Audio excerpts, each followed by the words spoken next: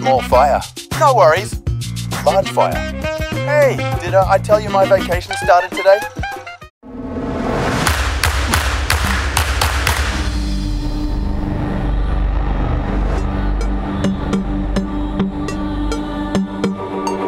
Tracy Harwood. Um, so I've done a little bit of digging around and I've discovered. Ricky Grove. Fog comes in on little cat feet. Phil Rice. This is the best film that I've seen all year and maybe ever. Damien Valentine. Use the machinima, Luke.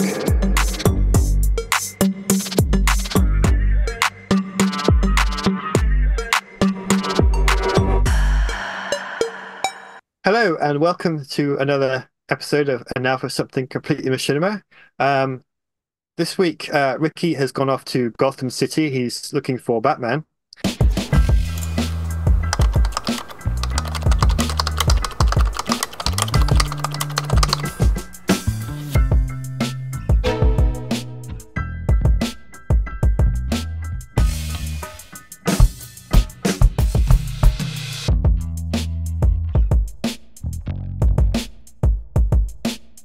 So uh, it's myself, Damien Valentine, Phil Rice, and of course Tracy Harwood.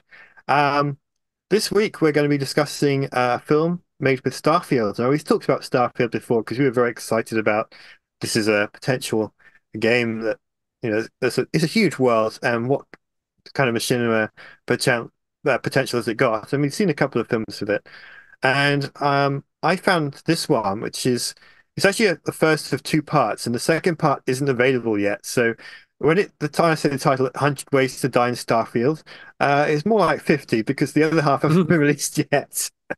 um, now keep in mind that this film, that the mod tools have still not been released for Starfield. They're coming soon, but when soon is I don't know. Um, Bethesda said that there's going to be updates and fixes and new content every six weeks. Um, starting this uh, month in February. So by the time that you, you're seeing this, they may have released the mod tools, but uh, at the time recording, they're not available, and certainly not available when this was made. Now, this video, a lot of the content in it was staged. It wasn't just um, going around and finding ways to die.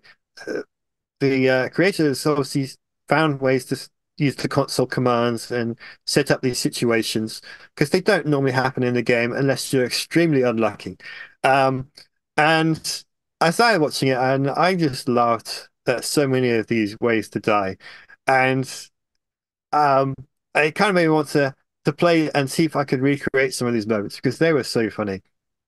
Um, so uh, this is going to be my bonus pick. Um, what, what do you guys think of it?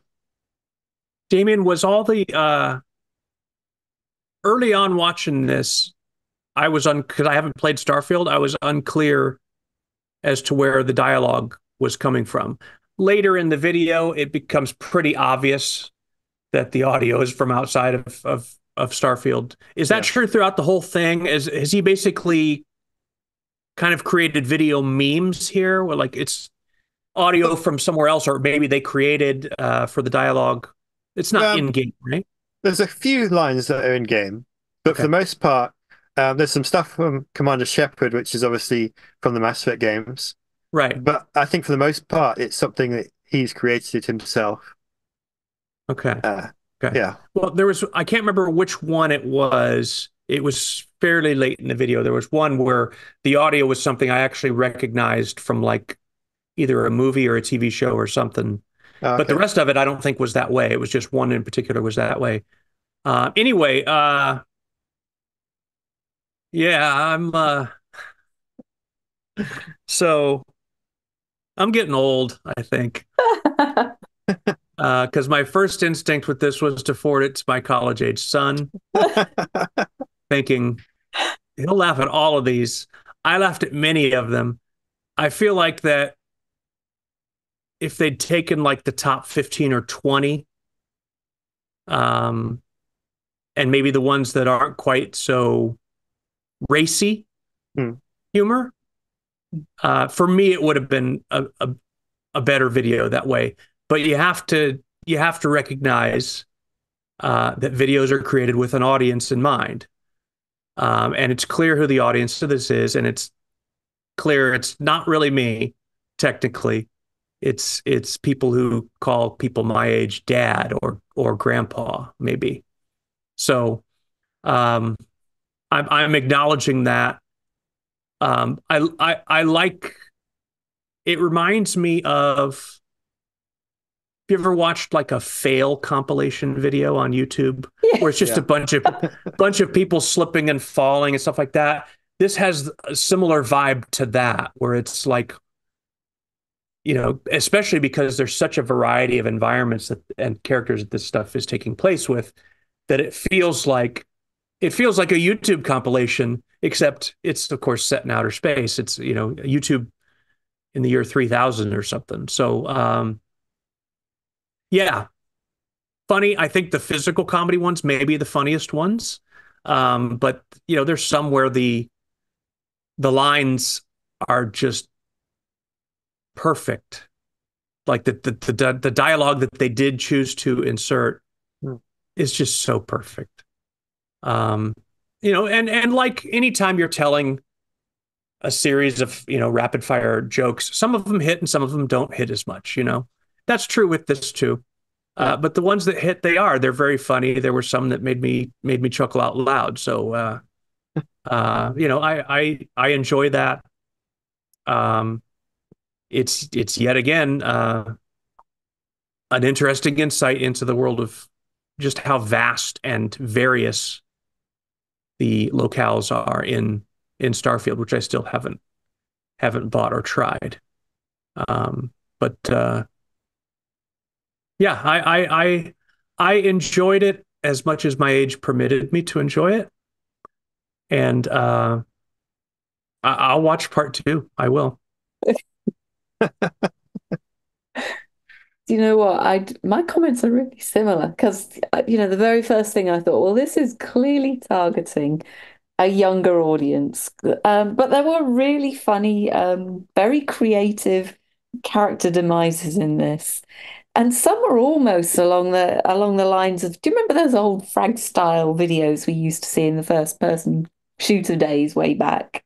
Do you remember some of those really early machinimas? Frag vids, they Oh. used to call them. Hmm. Yeah, I don't know. those? I probably. Yeah, where where, where uh, you know things just got blown to bits, and that, there was there was a whole genre of those sorts of things. So it was in the really really early days.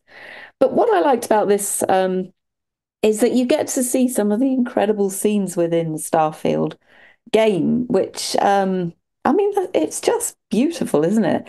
Um, Yes. And so I think the in character scenes showing explorers taking on things in just the the dumbest way they can is like you said, Phil, very reminiscent of those very many YouTube shorts we see of folks doing the stupidest things in real life, like you know, like soaring off a branch while sitting on it, and you know, all the various pratfalls that we kind of see are, you know, where folks are just slipping over on wet patches or whatever. Except these are just a little bit more extreme than that. I think my f- particular favorite was the guy that stuck a fork through his helmet whilst eating a steak. Yes, eating a steak. I just That's thought that right. was, that was just hilarious. Um, but there's everything in this, from you know things like standing near wild alien animals to attempting to pick defensive flowers and cutting rocks and crossing through laser beams accidentally and and then playing hide and seek around ships' engines and generally getting caught up in weaponry and machinery or fights with robots, which Or just chil- or childhood uh merry-go-rounds, you know, Yeah. playground where he Yeah. Oh, it's I mean, great. it's nuts, wasn't it? But actually, I really enjoyed the narration, which kind of puts this for me very much in that slap, uh, slapstick genre, which you know it's it's got a, a whole tradition with it, really. And I was kind of interested to see that actually this guy has done many of these kinds of videos in different games. And if you if you really want another laugh for for a few more minutes, um, have a look at his Red Dead Redemption 2 100 Ways to Die, because that's also quite a lot of fun. And I was astounded to see that he got at least 21 million viewers for that particular Wow. video. Now, slapstick, slapstick, I'm going to say it, slapstick. For those of you that are, are kind of interested, is a very specific style of humor, which really has quite a history.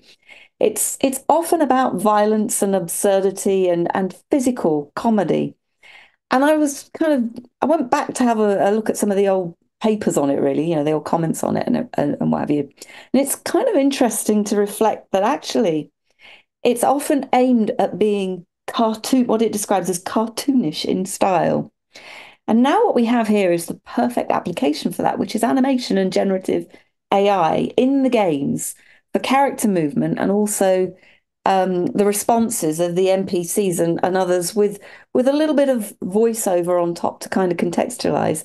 It's kind of the perfect set if you if you kind of have the time to to find a joke and edit it together. I think this guy has done a really good job in in doing that. And it, it looks like this kind of slapstick style is his is his whole portfolio really. And it goes back years. I mean, the first video he seems to have posted on this stuff was 2009 um, under the guise of something he calls the Gamer Poop web series brand. Very aptly named, I have to say. Which I've heard of prior to this, by the I way. would not be surprised because that was picked up by machinima.com and, of course, was one of the casualties when that channel um, closed. So, as I understand it, this YouTube channel is actually Manslayer's attempt to rebuild his presence online, and, and good for him, really. Wow. An actual Yeah. survivor of that. That's A great. kind of, well, a, or a, or um, yeah, a, a, a sort of a, reincarnation of his Right, right. old stuff. And this is a new ver new sort of episode, if you like, in what was a really old series. And as I understand it, he's particularly best known for devising a, a, a meme, which is also referenced in this video. We'll we'll bang okay, apparently. Um, which is frankly the side of it that I actually enjoyed a lot less. I did too. Yeah. uh, Oh, a lot less? Oh, no, I know. You might have enjoyed it. You know That's a bit i thought that was great. But you know what? I was kind of thinking, well, that might have been okay when he was about 14 in 2009. The fact that he's still making these in 2023, what would that mean? He is. He's he's got to be about 30 years old now. Do Yeah. folks online never grow up? No. I don't think so. Yeah, well, quite. Uh, But you know what? A lot of the comments in in relation to this were actually all about the nostalgia for those early years, um, which I think is really interesting. So, I, you know, I, I think he's onto something here with, with that kind of um, nostalgic, uh, you know, um, point in mind, really. I think it's also worth reflecting on some of the other comments about the game itself, which is along the lines of um, the game's not done as well or is not received quite as uh, has been received quite as well as it as it was expe expected to do. Excuse me. And the comments are along the lines of it needs more machinima to make it popular with players and creators. Hmm. And I think examples of videos such as this one are highly likely to increase demand for it. I guess we'll see in due course if that's going to be true, but it's a key point to note when these publishers are thinking about clamping down on creators using game content. Because if the game isn't going as well as you think, then you need people like this to help reach an audience. And this guy Yeah. could do it. Yeah. So Well, think- uh, yeah, that's my comments on this one. Well done. Well, well, Yeah. well, great pick, really. Yeah. Well, I'm glad you both enjoyed it. Um, as- One more thing I want to add uh, that I forgot to mention is I, w- we've talked how many times about how important writing is. Uh, this is an unusual aspect of writing, uh, but the whoever wrote the titles for each of the the numbered ways, Yes. genius. The titles are so great. It's it it's just wonderfully done. Yeah. Yeah. So- Proper slapstick. Yeah, Well, I think because uh, as I mentioned at the beginning of this episode, Bethesda are going to release a tool set. They want fans to create stuff for this game, and it's the same with Skyrim. Shortly after release, they released the the tool set, and they encouraged mod makers to use it and expand the game. And that's one of the reasons why so many people still play Skyrim uh, more than a decade after it was released. And I think Bethesda want the same thing for Starfield. I was surprised that it didn't get quite the reception that uh, I thought it was going to do because obviously there was a lot of hype for it. Maybe that's the problem though; it was too hyped, and Mm-hmm. it's never going to live up to those expectations. No matter how good it is, it's never going to match what people have imagined it's going to be. And for my part, I've enjoyed the game. Um, there, there's some bugs in it, but that's to be expected from any big game. And they've done. Yeah, I was going to ask about that. If if if has there have there been any like showstopper major bugs in the game or something that would account for uh you know it not performing as well as as they wanted or satisfaction levels aren't as high because of that or you you're saying there's minor bugs but nothing major? Um, I haven't. There's a bug that I've heard about, but I've not experienced myself, where your spaceship will collect other objects and they will follow you around, and there is no way to get rid of them. Huh. So you'll get you'll be flying along, and you have a big asteroid chasing you, and you can't make it stop. Even if you land and then take off again, it's still there. When you land, it, it's still there behind your ship. Oh, I- that's weird. But they've they've um this month they're releasing an update that should fix that. Um, and they've released it as at the time recording, it's a beta release for this patch, and it's a a very extensive uh, bug fix uh, list, and there were minor glitches. There's nothing that prevents you from you know finishing the game. Um, um, but and then they're going to release the, the full patch for across all platforms. Um, they probably have done by the time this goes out. Um, and you know they want to do uh, an update every six weeks, so it's going to add new content and uh, improve the game.